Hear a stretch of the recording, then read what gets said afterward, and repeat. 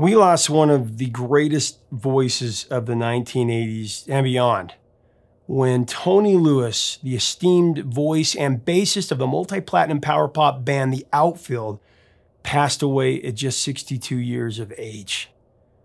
Man, Tony, he was a lights out vocalist. He had that distinct voice that made the outfield a mainstay of the decade when Your Love went to number six in 1986. I just want to use your love tonight. He was preceded in death by his blood brother and musical partner, guitarist songwriter John Spinks, uh, who sadly passed away from cancer in 2014. You know, Tony and John just had a special chemistry and we all feel it in every song that we hear of the outfields. It's just really unique.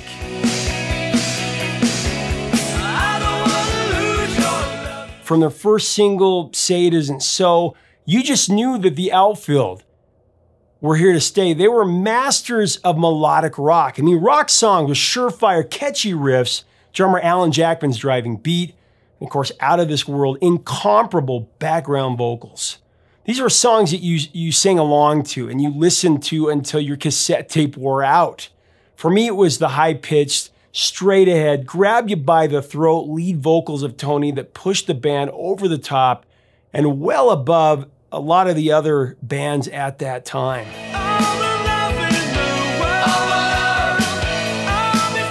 Like many of you, I distinctly remember buying Play Deep after I discovered them from the radio. I was so excited to show my friends my musical discovery because all the songs were great on that album.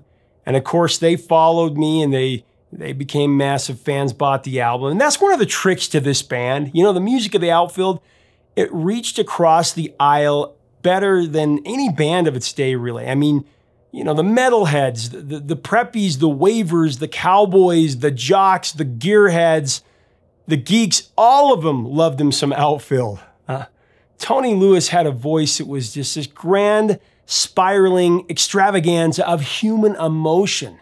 And I'm so grateful that I had the opportunity to sit down with Tony and discuss his life from the first song that he heard that inspired him to form a band to his unique partnership with uh, guitarist John Spinks, um, and also the stories behind the outfield's biggest songs. And I'm going to share uh, a portion of that interview here. You know, one note, we touch upon their biggest hit in this, Your Love, in, in the interview. Uh, but for an in-depth mini documentary on that song, please click on our link below to watch it at Professor of Rock Vivo channel. We've got, again, a long uh, mini documentary that goes through that entire song. Make sure to subscribe to this channel to celebrate the greatest artists and the greatest songs of all time. That's what it's all about. Here's Tony. Just growing up in the 60s, hearing the Beatles on the radio, uh, yeah. We was lucky enough to be in that evergreen period where I suppose it transcended into our, our songwriting, I suppose, because through that, John was able to write Your Love and Says So, them songs that still stand up now. But there's not one particular song that stands out. But I remember uh, hearing uh, Penny Lane for the first time on the radio. I was oh, about yeah. nine years old. Penny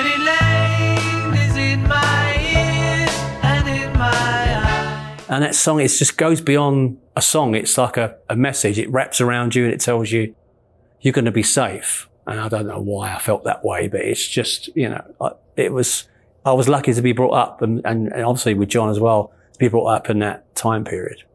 Well, of course, you guys started in the late 70s, a band called Sirius B, right? That's right, yeah. Power pop trio right in the middle of punk rock. Yeah, just before it exploded, you know, we've, we, we're playing in pubs and playing all around London and then the punk thing exploded and I mean, I, I did understand it. It had to happen at that time. I, I liked Sex Pistols. I liked what they did to the music industry, turn it around on its head.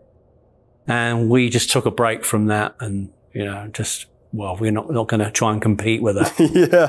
Well, then you performed as the Baseball Boys in the early 80s. You got back together and I heard that was influenced by the Warriors, that, that title. Yeah. What was, we were trying to get a record deal in, in, uh, in London, uh, me and John, And, um, he wrote on the back of a cassette tape, the baseball boys, and he'd seen a street gang. The street gang from the film The Warriors was the baseball boys. They would go around, you know, hitting everyone over the head with a baseball. And, right. And it, there was no connection with the sport. But when we got uh, connected up with American management they said you can't use a name like the Baseball Boys in America because it's a national sport. So they ch- it got changed to the outfield because there's three three people in the outfield part of the pitch, and there was three of us, so it made sense. And then Demo got you signed um, in '84 CBS, and Yeah. I heard that, that you guys didn't even know what an outfield was because No. baseball's not prevalent in England. No, there's an outfield in cricket, and none of us are cricket fans either. You know, Right. you watch a game of cricket and you're like tea on the lawn, you know, and cucumber sandwiches. Yeah. Oh Yeah. yeah. Yeah. It's this it's not our sport. We like football. That's Well, 1985, you guys released Play Deep, and you were bigger here than in your own homeland. you know? yeah, American management just was focusing on USA, and obviously it went- transcended to uh, South America. But yeah, we we couldn't get arrested in London, and it's, it's a bizarre story, but not a bad situation to be in. The album cover is so classic. Yeah, I mean, that's one of those album covers from the 80s that you always remember. And of course, again, going to number nine, but also three times platinum here in America. And let's jump right into Say It Isn't So, because that was a song that right off the bat, I mean, hit number 18 on the rock charts, but I love that great beginning where you come in with that vocal well. I mean, that really sets up, this is who the outfield is. You're going to hear these incredible background vocals. Tell me I'm the only one. Say it isn't so. Without you, Tell me about that song, what you remember about recording it. I remember doing the demo, and what made the intro work was we did a reverse snare, like that Yeah. sort of military sort of, and that's what gave that song a, a kick. But uh, funny enough, me and John, we we agreed. I mean, that it's our least favorite song to play live. We we like the song, Yeah. don't get me wrong, but it's not free flowing as "All Love in the World" and "Your Love" and "61 Seconds," uh, and we understand why the song works. But uh, yeah, we thought this song had a, a lot of potential as a demo. But when it was a big hit here in '85, well, it wasn't a huge hit. We just did well nationally. We went home in '85 for that Christmas period, and Your Love was just put onto AR radio just to keep us in people's minds and to keep us on the radio while we was off tour. And the, the song just had a life of its own. Went from spring to the summer, and then all of a sudden, this song that we didn't think was going to even be a single was was big, you know, and it was bizarre. I love the the background vocals when right off the bat you got me all screwed up when you come in with that. I just I love that. you got me all screwed up. So much I can't. Yeah, I can understand how people, yeah, uh, a lot of people say, oh, it reminds me of the relationship I was in and got me all screwed up. And it can, you can relate Oh yeah. to people's situations. Well, and, the, and a, a great guitar solo as well in that song. Yeah, he was You a know. great guitar player.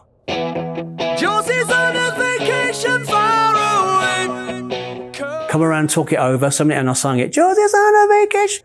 Yeah, that'll work. That's a good little pop song. We didn't know it was going to be as big as it is now, you know, and it's, it was written so quickly. Well, was Josie a real person? Who was No, Josie? it's just not. It's not. A, it's not a true story. But I Yeah. like putting a positive spin on a tragic story. You see. yeah, no kidding. It's got a distinctive guitar riff to start out, and then it's got that unforgettable opening line. You know, Josie's on a vacation far away. Come around and talk it over. Right from there, you know what the song is. And throughout the entire song, it's like you're in seduction mode. But what's cool about it is you don't know what happens in the end. Yeah. People still ask this up till this day, you know, who's Josie? Sometimes I make a joke, say, oh, it's Napoleon writing about Josephine and he was out to war. They're like, oh, really? No. Well, let me ask you about All the Love in the World. Just an outfield classic. Went to number 19 here. All the love in the world. Tell me the story behind that. Well, that was on, uh, on one of the, the songs on the demo tape that we sent to uh, CBS, which is now Sony. And that was like another tongue in cheek song that we, you know, we wrote and, and I said, look, well, let's, just do a song called All Love in the World, you know, let's, and that was a, a pop song. That was written very, very quickly as well. And I, I think maybe all the bigger songs do get written quickly because you don't think about it and you don't know that you're like making a stream connection. consciousness. It just comes out. Yeah, we just didn't want anyone to think it was Dionne Warwick singing.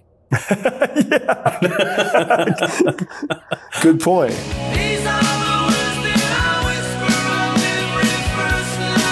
Well, in 87, Bangin' came out. And of course, Since You've Been Gone went to number 31 off that record. And that's just a great rock song. What do you remember about recording that and arranging that song? We wanted to make sure that the album was a little bit more of a progression from Play Deep, you know, maybe a bit more darker, a bit more rockier. Since you've been gone, staring at The recording period of that song was exciting for me. Yeah. So I remember um, in our studios in London where we recorded both albums, uh, Play Deep and Bangin', we had two levels uh, of the building. Now it's gone now. The air studios in London's gone. It's gone to West Hampstead. But it was upstairs and you had a pool room upstairs and was playing pool. And, and all the pockets were, were covered by paper cups because we didn't want to keep paying for, to play pool. In the studio, we were paying huge amounts of money to, to make a record there. So John come upstairs and said, do, you- do you want to listen to this? And I, I went downstairs and he did the, the guitar part, da na na na na da da na na na, and, and all the hairs on my neck stood up when I heard it on these huge JBL speakers, and I thought, wow, that's the Beatles right there. Yeah, you know, wow, fantastic. Yeah, and the video, Wayne Isham directed the video for Since yeah. You've Been Gone. He came over. He's, he's a man from California, and he's thinking everywhere's California weather. Well, in in, in England, it, it it, it rains pretty much. Apart from this summer, we've had the best summer since 76. Wow. But that particular period of time, it was raining. So we shot some film on Hastings Beach, uh, Devil's Dyke. We had about three or four different locations and it rained. It rained. So you see the video well going like that. It's raining. yeah. Wait, why did we film this here?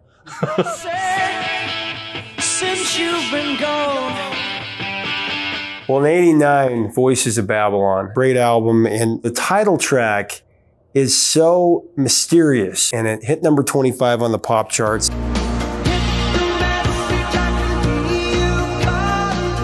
What can you tell me about that song? This time that C- CBS had said, we want you to make a bit, maybe more of a, a pop record this time. You've done the, Play Deep was the big selling album and it's played, Bangin' was, you know, as good, but this had to be a turning point for us. We couldn't keep just, you know, recording Your Loves and Your Love in the World. The big and- power pop rock songs. since you've been gone. So we had to take a bit of a different direction.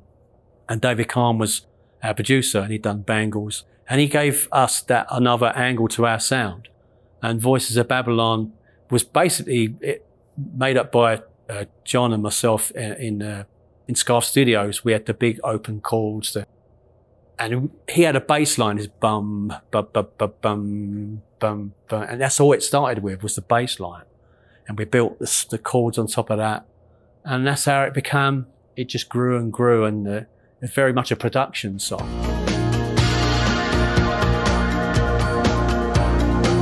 But a lot of people love that song and it's, it's so different to what we'd done. Musically, it's, it's very different than anything you guys had ever done. But lyrically, too, what did it mean?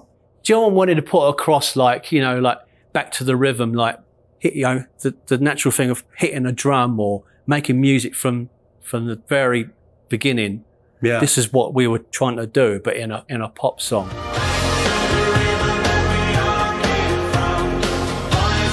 Originally he said, I've got this song called Warriors of Genghis Khan or something like that. I went, we can't use that. No, no, no, please, no. no or, or about voices, voices, something, Babylon. Babylon's, you know, the, the utopia that everyone strives to get to. Yeah, that's, that's a great title. It's like you're speaking about the state of the world. In the last line, patiently wait for our turn to come, a small collection of the population. By the time our number's up, we could be gone.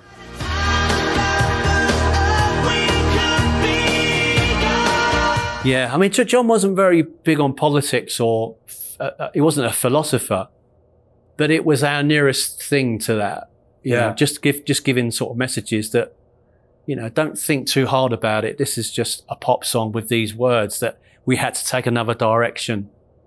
And, uh, and that album, it had a, a great flow to it, you know. And I love the very last verse when kind of goes out and you just hear your vocal come in. It's just, it's just a very powerful song. I always read into it, like you said, not political, but just about the state of the world. Yeah. And then the end saying like, we could all be gone someday, like go after it.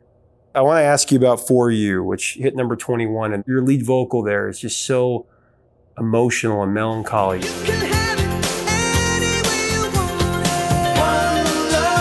Was that a real thing that you were going through to be able to record that song? Because it's a very uh, sad song.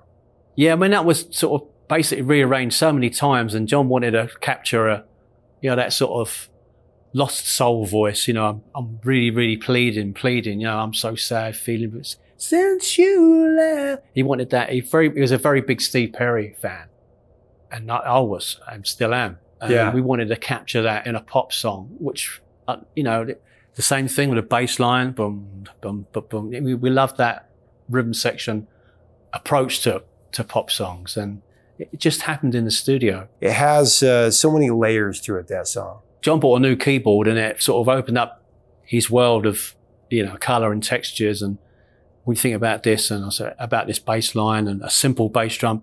I think, I think that how the song works is it's quite simplistic, really, you know, and still reta- retaining our sound and, you know, not making it too busy as a backing track. Otherwise you can't, otherwise the vocal doesn't sound personal. So we Yeah. don't overanalyze our songs. It's just we wa- we either capture the magic in the studio or we don't, and we move on to something else. Interesting. Because when you say, try forgiven, I'm a broken man, and you can have it any way you want it. I'm a broken man. I mean, there's just very emotional vocal there. I mean, it makes sense if, if Yeah. you're approaching it in one or two or three takes, because you're not going to be able to hit that emotion once you've done it seven or eight times. Well, if- after about ten takes, John said, "If you if you're not going to get the next take, I'm going to come in and and that yeah that that taught me to get it right. Yeah. well, I love the ending of it too, because you have the light piano in the background as you're ending on your last few vocals. And your last vocal, I have to say, that is one of my favorite vocals ever. I love that. Just very powerful. John, of course, uh, passed on a, a few years ago from from cancer, and just a phenomenal songwriter. You, you and he had this power together to to create incredible pop songs that we're still listening to now. What stands out to you about John? Memories about him? we were very close. You know, I, I, I've lost my big brother, really. I mean, I shared a stage with him the best part of 40 odd years, um, especially with the, the outfield, for 33 years.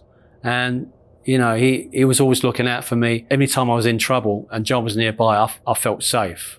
He was always looking after me and he just wrote some great songs, you know, and it's never going to be another John. No, you're right. Never going to be another John Spinks. And uh, I, I vowed that I would never ever go out and tour as the outfield. I'm totally from the outfield, but I'm not going to uh, put a band together called the outfield because when he passed away, that's when the outfield passed away because you, Yeah. you will never get, I never get a better songwriter, guitar player and person. And he was funny as well, really funny. And we were really, really close. And I still, still miss him.